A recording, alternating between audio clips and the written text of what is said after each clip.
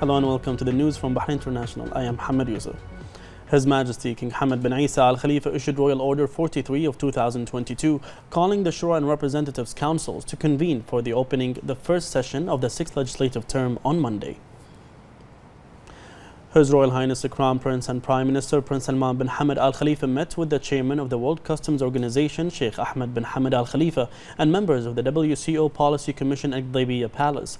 His Royal Highness highlighted the vital roles played by customs authorities in supporting global economies and promoting economic development. His Royal Highness commended the efforts of Bahraini workforce and Bahrain's customs who always work in the best interest of the country and citizens and adopt international best practices that cement the kingdom's position at the international level level. His Royal Highness welcomed the members of the committee in the occasion of their visit to Bahrain, noting the outcomes of the committee meeting, which was held for the first time in the kingdom. His Royal Highness commended the efforts of the WCO headed by Sheikh Ahmed bin Hamad, wishing it further success. The WCO chairman and the members of the WCO Policy Committee expressed thanks and appreciation for His Royal Highness's support in promoting customs work and wish the kingdom further progress and prosperity.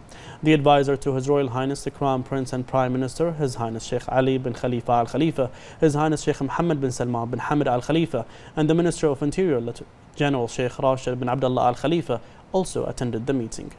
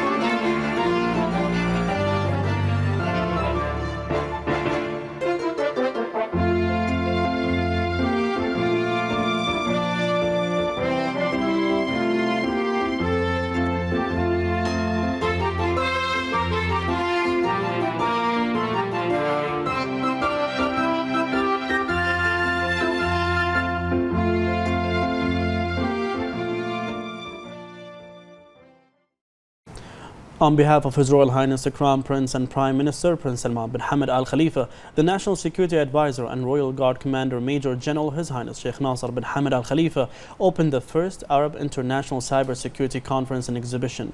Patronized by His Royal Highness, the event is held at the Exhibition World Bahrain with the participation of high-profile speakers and in the presence of cybersecurity experts from various countries. His Highness Sheikh Nasser stressed that cybersecurity has become a basic pillar of the ICT sector in the world to confront cyber risks, noting that Bahrain attaches special importance to cybersecurity given its major role in providing cyber protection for all sectors that support the comprehensive development process led by His Majesty King Hamad bin Isa Al Khalifa and the follow-up of His Royal Highness the Crown Prince and Prime Minister. His Highness noted that the kingdom is one of the leading countries in the region in the field of cybersecurity, citing its keenness to develop the ICT infrastructure and adopt many initiatives and projects to improve the readiness and security of information. His Highness asserted that the kingdom's hosting of the conference reflects its interest in developing the telecommunications, ICT and digital economy fields, being one of the promising priority sectors, as well as its keenness to provide a platform to identify the latest policies, legislation and technologies related to cybersecurity. The Minister of Interior, General Sheikh Rashid bin Abdullah Al Khalifa, affirmed that holding the first edition of the Arab International Cybersecurity Conference and Exhibition is in line with the directives of His Majesty the King to shift to digital systems and delivering services within an integrated digital transformation plan that is carried out according to disciplined cyber standards.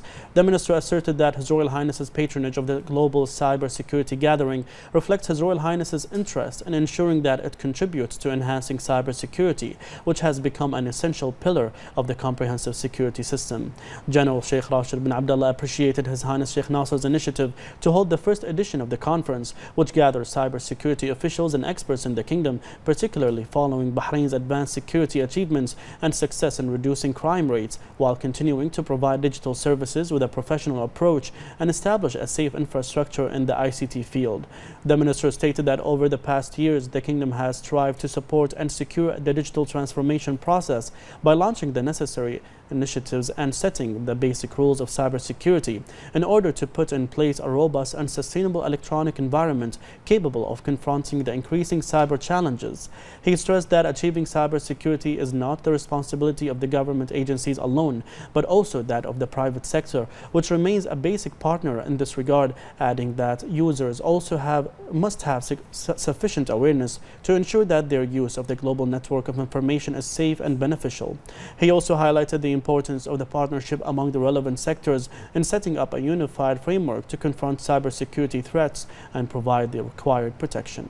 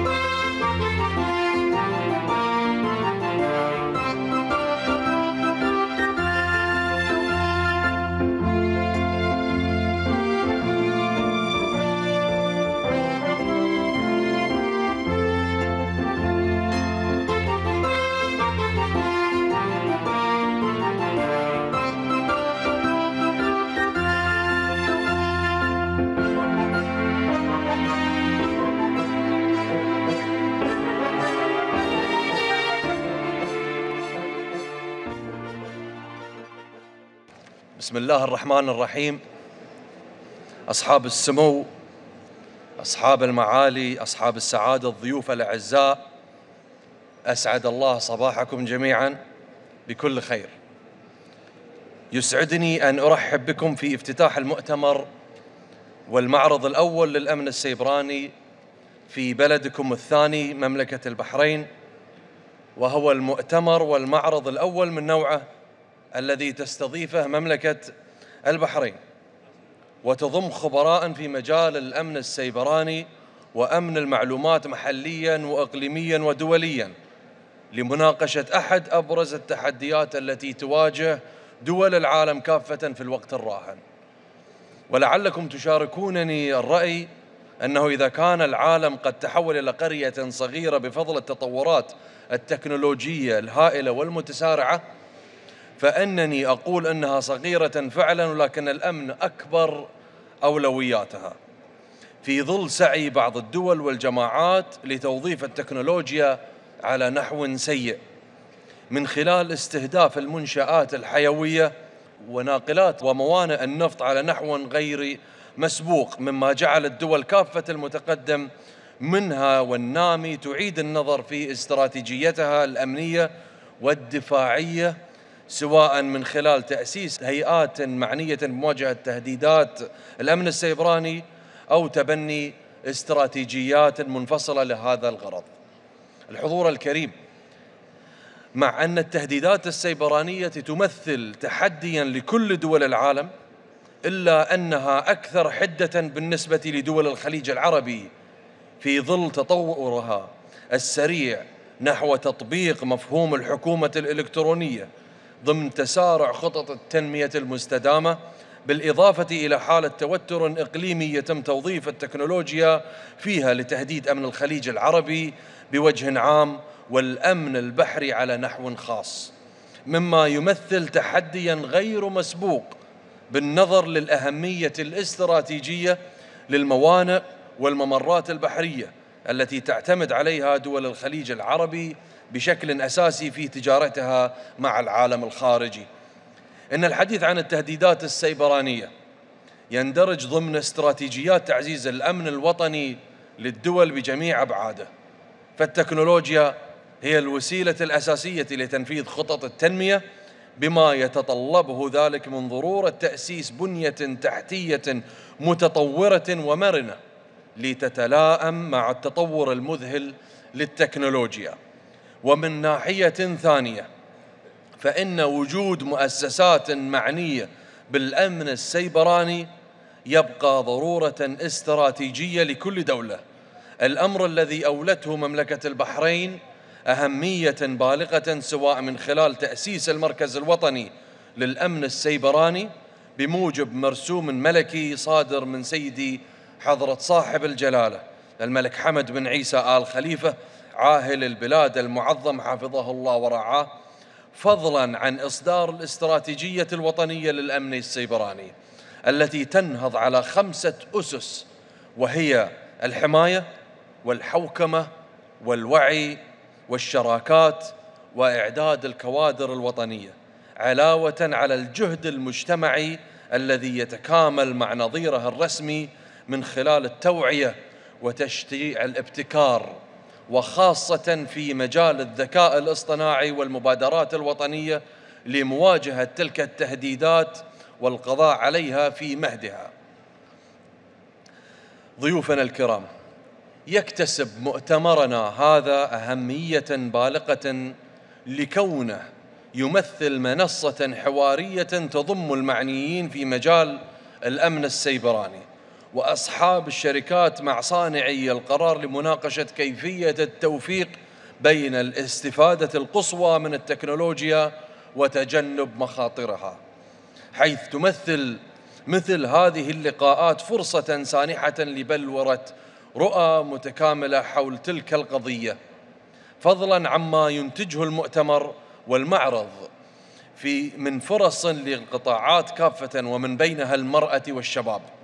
لعرض الإنجازات والمبادرات ذات الصلة بتحدي الأمن السيبراني لتتكامل الرؤى والجهود بهدف بلورة خطة شاملة لمواجهة تلك التحديات. إن جدول أعمال المؤتمر والمعرض يثري بموضوعاته على مدى الأيام الثلاثة من حيث تنوعه للمشاركين والقضايا المطروحة التي تتناول طبيعة تلك التهديدات وما آلت إليه من تطور وما تمثله من تحد بل أن التعرف على طبيعة الهجمات السيبرانية في الماضي وما أسفرت عنه من نتائج وكيفية مواجهتها يحمل في طياته دروسا مستفادة. ونحن نتطلع نحو المستقبل بخطى ثابتة وتصميما على الإفادة من تلك التكنولوجيا باعتبارها أحد ركائز القوى في المجالات المتعددة. إن مناقشة بناء القدرات الوطنية والبنى التحتية اللازمة لعمل تلك التكنولوجيا تحظى بنصيب وافر من أجندة عمل القمة والمؤتمر وهي قضية محورية بالإضافة إلى الأبعاد القانونية لجرائم الأمن السيبراني التي لا تزال تمثل معضلة ليس فقط على المستوى الوطني لكل دول بل على المستوى الدولي في تكييفها القانوني من حيث تحديد المسؤولية عنها وما يتطلبه ذلك من فرصة عقوبات على مرتكبي تلك الجرائم. حضور الكريم لقد أكدت الأزمات التي شهدها العالم وأبرزها تحدي جائحة كورونا إنه لا مفر من التعاون لمواجهة التهديدات المشتركة من خلال تبادل الخبرات في التعامل مع الهجمات السيبرانية وضرورة تأسيس شراكات دولية في هذا المجال بالنظر إلى الارتباط الوثيق بين مستويات الأمن الوطني والإقليمي والعالمي على نحو غير مسبوق وحتمية حماية المرافق الحيوية الخاصة الموانئ البحرية بوصفها شرايين الاقتصادات الوطنية للعديد من الدول. الأمر الذي وجد صداه لدى دول حرصت على اتخاذ إجراءات احترازية في هذا المجال بما يعني أن مجال إدارة الأزمات السيبرانية قد أضحى في مقدمة استراتيجيات الأمنية للدول عموما وفي مجال إدارة الأزمات على النحو الخاص. أن المؤتمر بما يتضمنه من جلسات ومناقشات وورش عمل تتجاوز توصيف التهديدات وتستهدف البحث عن حلول مبتكرة وتبني مبادرات بناءة ونشر الوعي وتعزيز القدرات وتوصيف التحديات وتصنيف مخاطرها وكيفيات مواجهتها برؤية يسهم الجميع في صياغتها ويعمل الجميع على تنفيذها. في ظل عالم أضحت التكنولوجيا محركا لتفاعلاته وسمة لقوة دوله. إنني إذ أرحب بكم مرة أخرى. أتطلع لإسهاماتكم التي سوف تمثل مصدر إثراء لأعمال هذا المؤتمر والمعرض. املا أن نحقق معا نتائج مثمرة تسهم في الاستفاده من التكنولوجيا بفوائدها والحد من تهديداتها والسلام عليكم ورحمه الله وبركاته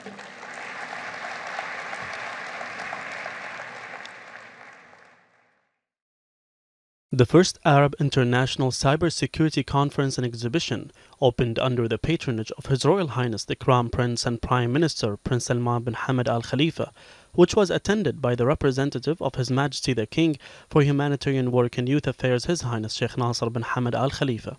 The three day event is held at the exhibition World Bahrain in Sakhir under the slogan Empowering Global Cybersecurity Cooperation, providing a platform to exchange expertise and supporting cooperation. This is a very important event uh, for us. We've got quite a number of British companies here. Uh, we've got the UK Cyber Ambassador from Department of International Trade uh, here because um, the topics that are touched by cyber, it's not just security, it's the whole range of different things that are very important to government, to uh, business and to individuals. And it's great to see all the collaboration starting to come together in the physical space here at uh, Exhibition World. The event highlights global initiatives and the latest trends in the field of cybersecurity, in addition to discussing main cybersecurity challenges and developments while providing perfect solutions and studying best practices. With the uh, directions of the government to uh, go for fully transformation in the government, it's very important to secure uh, government services and systems. Uh, such an event, uh, bringing all the experts in the Arab region internationally, uh, is uh, very important to exchange information, exchange experiences, learn from other uh, uh, countries issues that they are they are facing, and try to be always ahead of the game. so securing our, our, our systems is a key element of our success. This is this event is very very important. Uh, first of all, we are happy as Benefit Company to participate in this important event, and uh, I believe uh, this event uh, uh, having a lot of experts from different uh, world related to the cybersecurity, something that I think it's hitting our lives on daily basis and becoming more and more. So it is important for the organizations and even for the individuals and for the country. So that's why I believe this is the right time now to have this kind of um, uh, events. And we are looking forward in the future to have the similar uh, events because uh, we believe that these kind of events you know, will add value to the community as a whole. The event serves as a global platform for all experts and specialists in the field of cybersecurity, for all the representatives of government and private sectors, and all participating companies. Reporting for Bahrain International, I am Muhammad Yusuf. Under the patronage of the first Deputy Chairman of the Supreme Council for Youth and Sports, Chairman of the General Sports Authority and President of Bahrain Olympic Committee, His Highness Sheikh Khalid bin Hamad Al Khalifa, the second edition of the Khalid bin Hamad Chess Championship for Bahrain Schools 2022-2023 concluded yesterday. The Ministry of Education in cooperation with GSA, the Bahrain Federation of Mind Sports, the Bahrain Chess Club organized the championship in which more than 400 students qualified. His Highness expressed pleasure with the wide participation in which students competed in one of the most important mind sports, which is gaining wide popularity in the world. His Highness added that the championship is held based on plans to develop schools' activities and implementation of the directives of His Majesty the King's representative for humanitarian work and youth affairs, His Highness Sheikh Nasser bin Hamad Al Khalifa. His Highness stressed the importance of sports that enhance students' mental abilities, especially since chess is considered one of the games that rely on intelligence. His Highness also lauded the cooperation between GSA and the Ministry of Education in organizing this tournament. The Minister of Education, Dr. Muhammad Mbarak Jum'a, addressed the ceremony, expressing deepest thanks and appreciation to His Highness Sheikh Khalid for patronizing the championship. He praised His Highness's support to youth and sports in light of the development march led by His Majesty the King with the support of His Royal Highness the Crown Prince and Prime Minister. He also hailed the role of His Highness Sheikh Nasser in supporting Bahraini youth and developing sports to honor Bahrain in regional and international events.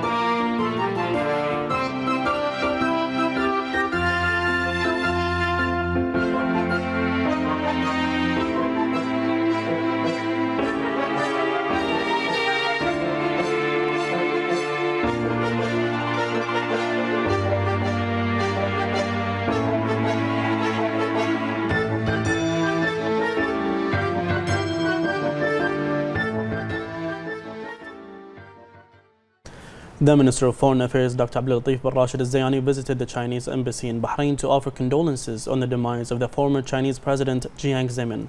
The minister offered to the Chinese ambassador to Bahrain, Anwar Habiballah, the sincere condolences of the king, government and people of Bahrain to the government and people of China on the demise of the former Chinese president, recalling his efforts, sincere efforts to achieve development, progress and prosperity for China and the important and prominent role he played in strengthening the historical and close friendship between Bahrain and China.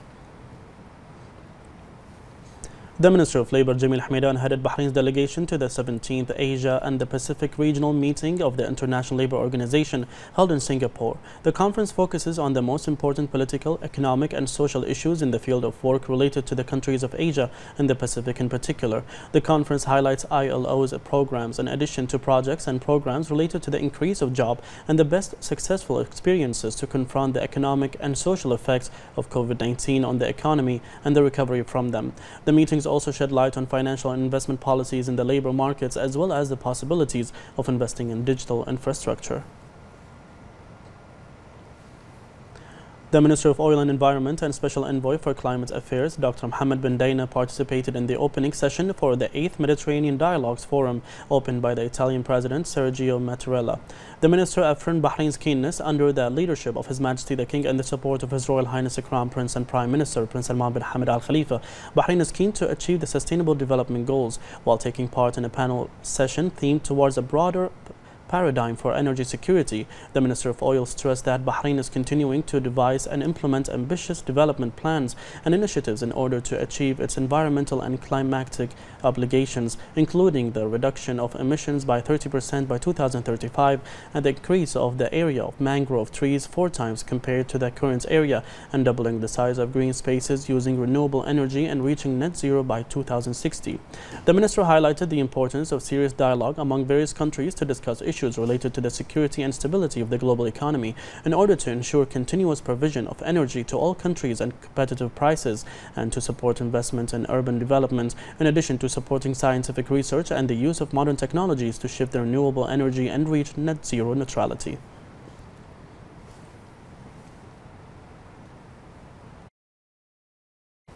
The Minister of Oil and Environment, Special Envoy for Climate Affairs, Dr. Mohammed bin Mubarak bin Daina, participated in OPEC and OPEC Plus meeting, which was held virtually with the participation of the energy and oil ministers from member states. The online meeting discussed an approved oil production policy and the possibility to control production, as well as other key issues pertaining to this vital sector. The minister pointed out the importance of these meetings to discuss controlling the current levels of oil production in order to support the market stability amidst the challenges and geopolitical and economic difficulties the world is going through. He underscored support to continue cooperation between pr producers and consumers to brave challenges and work out appropriate solutions to maintain stability and sustainability of the oil market and serve the global economy. Dr. Bindaina stated that there was an agreement at the meeting to keep the oil production policy unchanged and adjust the frequency of meetings into two months instead of one month in order to back the stability of the market. He noted that the OPEC Plus group agreed at the meeting last month to reduce oil production by 2 million barrels per day starting from November 2022 until the end of 2023. The Minister of Social Development, Osama Al Asfour, and the Minister of Health, Dr. Jalila Hassan, headed the delegations of the two ministries to participate in the sixth International Conference on Disability and Rehabilitation. The conference was organized by the King Salman Center for Disability Research at Al Faisal University in Riyadh under the patronage of the custodian of the holy mosques, King Salman bin Abdulaziz Al Saud. The conference aimed at reviewing the results of scientific research to serve this important group and their families in various fields, in addition to discussing scientific issues and contemporary trends in the field of empowering persons with disabilities, as well as exchanging international experiences that contribute to facilitating the transition of the disability category from childhood to youth.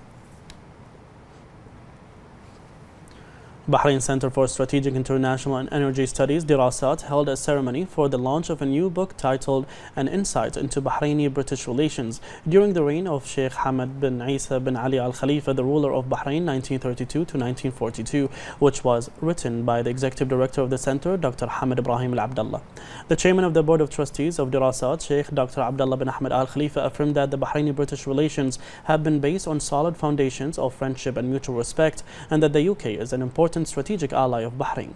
Sheikh Dr. Abdullah bin Ahmed added that the late Sheikh Hamad bin Isa bin Ali Al Khalifa was keen on utilizing the Bahraini British friendship to benefit from the British institutional expertise. He noted the Dirasat's keenness to draw inspiration from the noble royal visions to document Bahrain's march and that of its leaders to enrich the national memory and to provide an opportunity for future generations to read the national approach of Bahrain's people.